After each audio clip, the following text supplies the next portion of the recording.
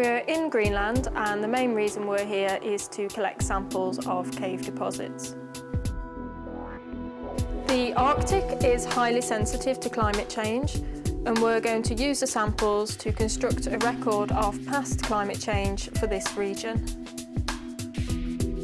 The caves are deep within the Arctic Circle at 80.4 degrees north in the far northeast of the country.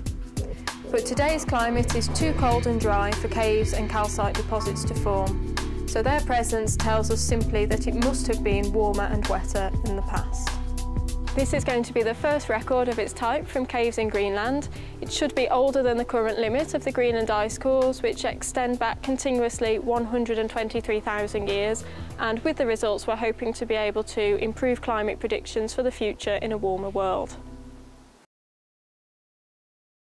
We began the expedition by spending a couple of days preparing equipment to take up north. I'd say you could depict a more remote spot really good try. Yeah.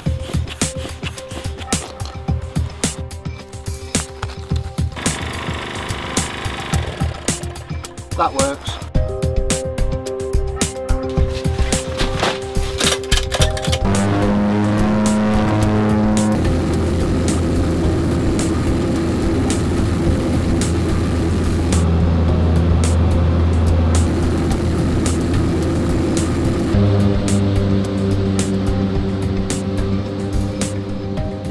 North was long and it was necessary for us to stop and refuel.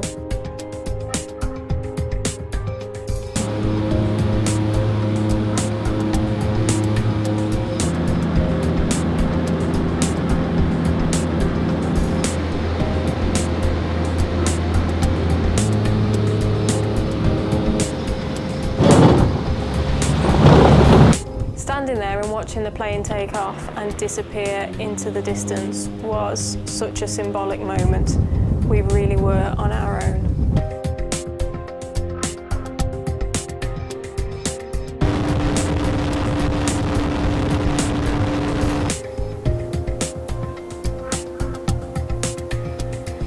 That's a nicer place for landing, isn't it? Thanks. That's, this, is the, this is the square bay as well, Gina. Look round.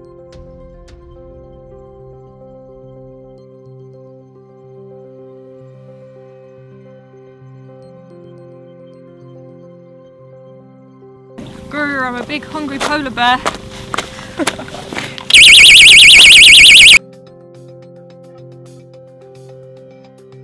We spent one day crossing the lake, setting up base camp and sorting through equipment to try and make our bags a bit lighter.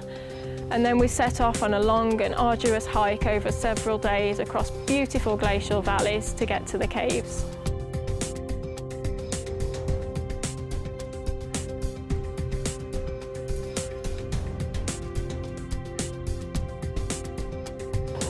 So we're doing our shuttle runs. So Mark and Chris have now gone back to base camp.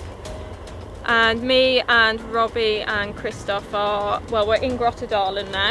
Um, we're just about to have some lunch, uh, dinner and then carry on the last bit and set up camp. Help. Hi. Thank you very much.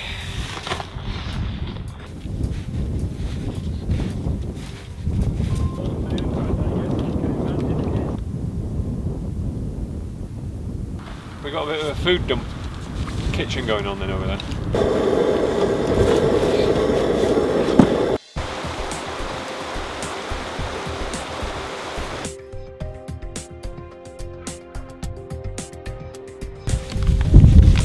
Fruit and nut.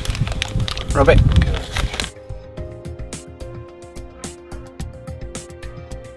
It doesn't really tie up clearly with those No. two. So this, this black thing is our clip.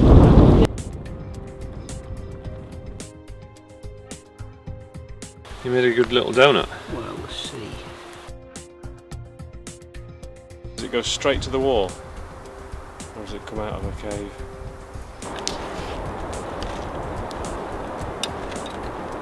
This is the first cave where we've found samples in situ. So we'll probably take the stuff that's already broken off and then we're not damaging the cave in any way. So this is on a bearing of one five two. You got harness, Robbie? all the gear. So we found the remains of a bird frozen in the ice and we're going to take a couple of small samples for radiocarbon dating to find out how old it is and to get more information about the ice dynamics.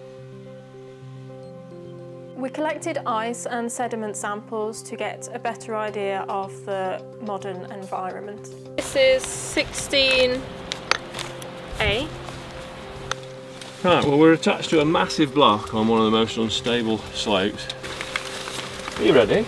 No.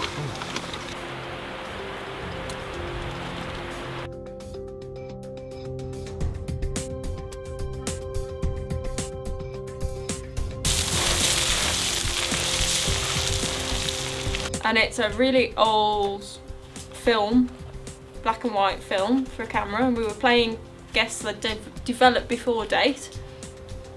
It turns out it's December 1961 and then inside we found a note. There it is. The original explorers of Grottedalen. It's just really spectacular. It's really, we've uh, it's exceeded expectations in so many ways. We were completely amazed by what we achieved in just three days. The 24 hour sunlight really allowed us to maximise the work time and in the end we documented 26 caves and collected 16 calcite samples, 4 ice samples, 2 sediment samples, 1 bone and 1 feather.